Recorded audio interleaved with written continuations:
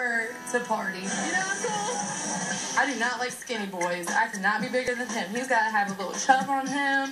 If I think somebody's cute, I'll walk up to him real quick and be like, hey, can I tongue punch your far?